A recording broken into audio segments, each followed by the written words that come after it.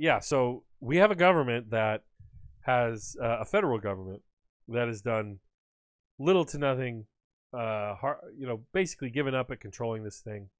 Um, you, I mean, I don't want to rehash all the excuses that were made. First, it was a hoax, then it was just going to go away, um, and then it was no big deal, and then it was going to go away again, and then it became the cure can't be better or can't be worse than the than the virus, saying we should reopen the economy, and uh, you know, of course, not wearing a mask, he got infected himself.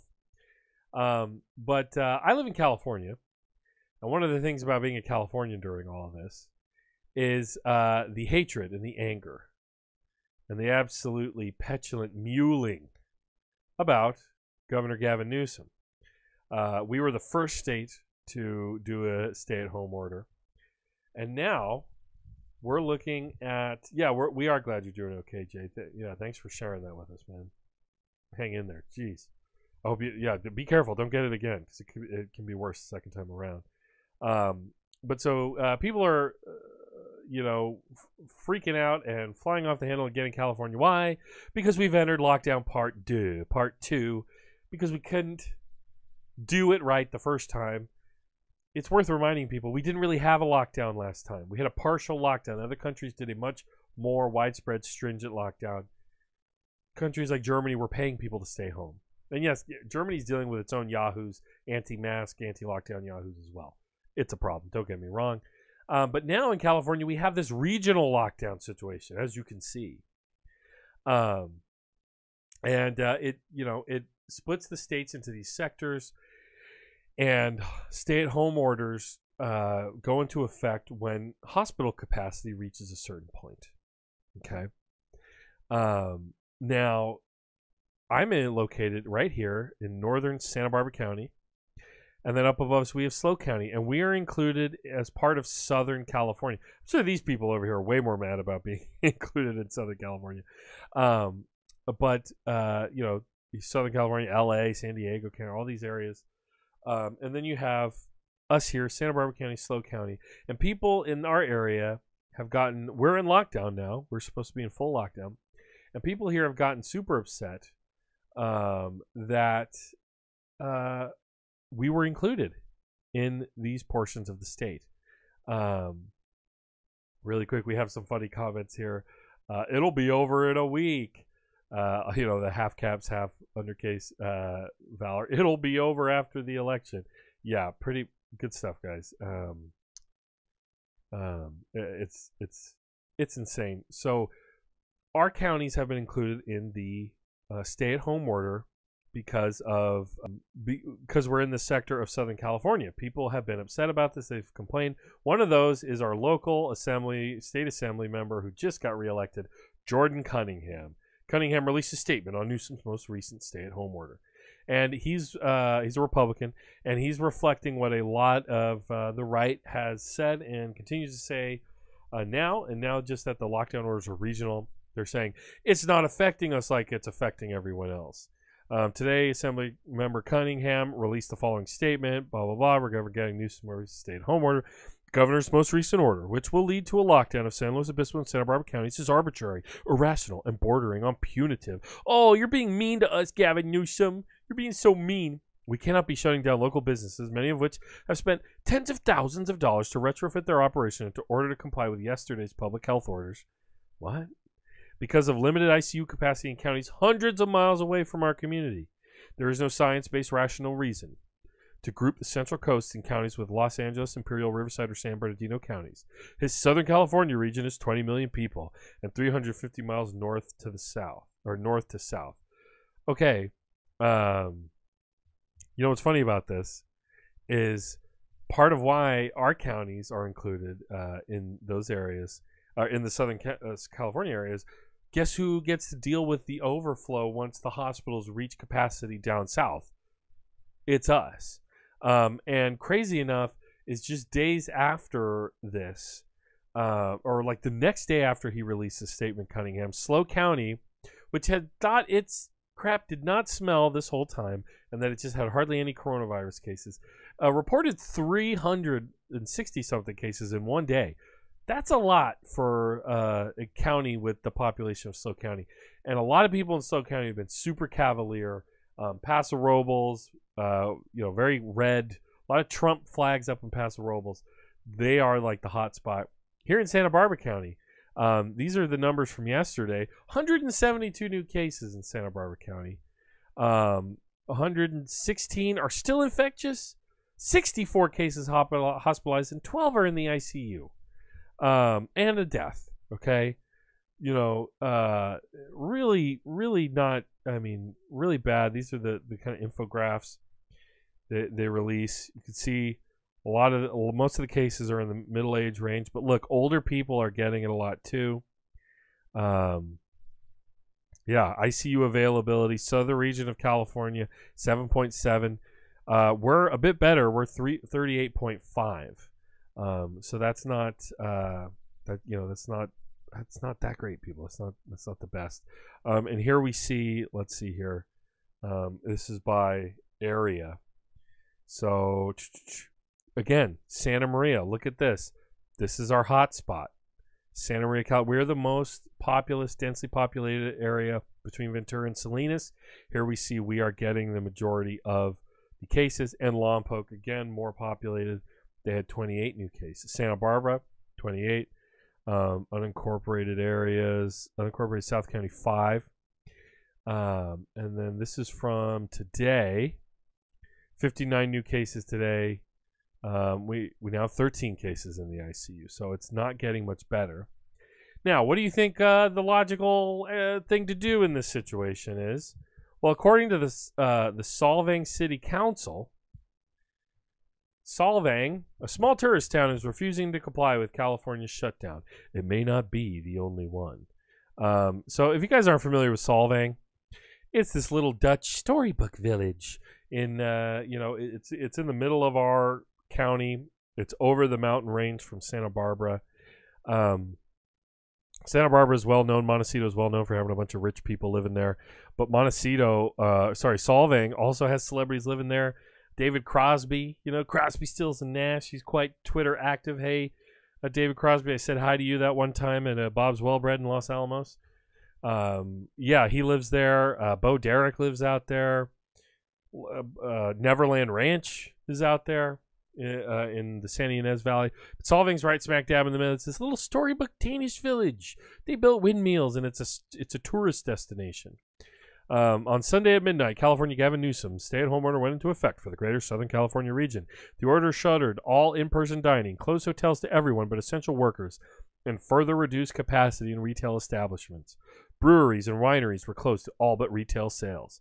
But the small tourist town of Solvang is refusing to comply, even as the pandemic surges. Can you believe this? Um, so the the the Solvang. Uh, on, let's just continue. On Monday, Solvang Mayor Ryan Toussaint filed an emergency motion in a Solvang City Council meeting that the town would not comply with the order. It passed five to zero. As of tonight, they can go about their business as they have done this weekend, said Council- Councilman Daniel Johnson, while restaurants are still adhering to safety protocols and limiting capacity, they are continuing to allow outdoor dining. Significant concerns about the latest round of business shutdowns were expressed by residents, business, and representatives and our council, Toussaint wrote in a letter on December 7th to the Santa Barbara County Board of Supervisors. So they aren't even going to respect county orders.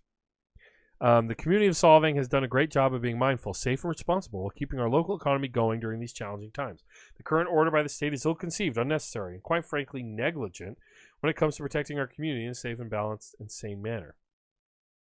Now, to be clear, um, I think the government should be doing more to support businesses. I think there should be a better stimulus bill through uh, the U.S. Congress. I think the state government should do more uh, for local business owners all of that uh, preface to say, the Solvang, uh, Solvang is a tourist town.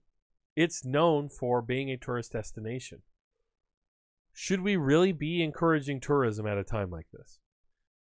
The death count uh, just a few days ago was more than 3,000. It was close to 3,000 today. It was like two or 2,000 something or yesterday. We're literally having death scale daily on the scale of 9 11 or Pearl Harbor. COVID 19 is now the leading cause of death in the United States, above heart disease, our favorite way to die. That's probably how I'm going to go. So, the, you know, we are in the winter of our discontent. All the alarm bells should be going off, and Solvang thinks it's more important for you to go get a pretzel uh, or uh, even the Chumash Casino. I mean, they're on sovereign native land; they can do whatever the hell they want. Obviously, they you know they can defy state county orders. They're a sovereign nation, but I think they should close down too because it's not safe. It's not safe, people. And there's a reason why around the country deaths have skyrocketed. You know, in uh, states that are even worse than this one's, they're making decisions like allowing infected nurses to work and medical professionals to work while infected. This is disgusting. And and frankly, Solvang is saying that you know th- their city council is saying that they need to support their businesses more than public health. And to be frank, Solvang, the people who actually vote in the city of Solvang, it's a much older, uh, definitely much wider, but much more moneyed population. Uh, people with more money uh, own property in Solvang. It's a very expensive area to live. And the people in the service industry in Solvang, the people serving you your pretzel and your strudel and your your pancakes or or whatever other uh, your wine tastings and your fine art gallery shows, um, the people in service there, mo- most of them most likely do not live in Solvang. They're going to live. Uh, if these are people employed by small business owners, if you have a small business owner who is the only person working the counter for their wine tastings or whatever else. Other than that, you're going to have a low wage person, probably doesn't live in Solvang.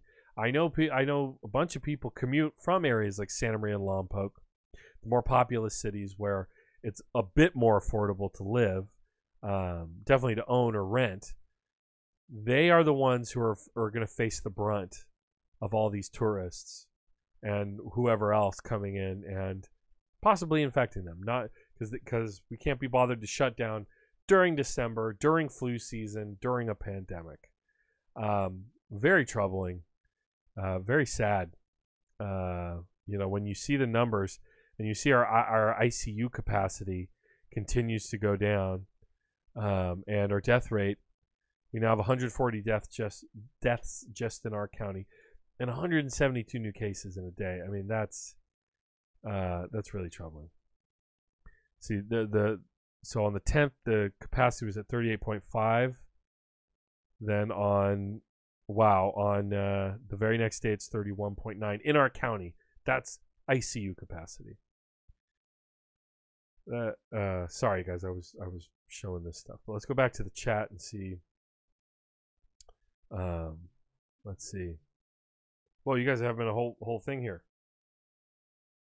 Jay Coleman, let me share with this with y'all too. Las Vegas tore down 26 homeless people's huts at an enclave here. Jesus, yeah, we have problems with that too here with the, the dehumanization of homeless people. Um, Valor, that's so freaking messed up. The time spent tearing down temporary structures could have been spent on so much better resources. Um, I'm sure you guys saw the photos uh, from Vegas. Um, like when at the beginning of all this they were oh my god. Yeah, here it is. Look at this, guys. This this is really disgusting. This is at the beginning of the crisis in Las Vegas. They um they for the homeless, they made these like weird if they, I don't know if they had coronavirus or if they were just trying to prevent them from getting it, but they literally just have a it's parking lot. Oh, tiny Sorry, it's an ad. Friends and folk. They had a parking lot, and they just have like squares. This isn't a game of four square or whatever. They they have these social distancing squares, so the homeless can social distance and lay in these squares, and literally like you know within uh, walking distance of the Las Vegas Strip, right, where they could have just given these people hotel rooms. They could have just put them, but no, can't do that. So Jay's talking about in the comments of how they tore down these homeless people's uh, structures, their their camps. Activists had set up the perfect solution for these people, and the state had tore it down. It was an enclave in between a highway and a water wash. It kills me. Food Not Bombs Las Vegas did the work. Y'all follow them on social media. They're badass. Thanks, Jay. We will do that. That's Goodman's Death Camp at Cashman Center. Jeez. Ugh. We're living in a dystopia, people. This is what it looks like. I know it's not fun. It's not nice.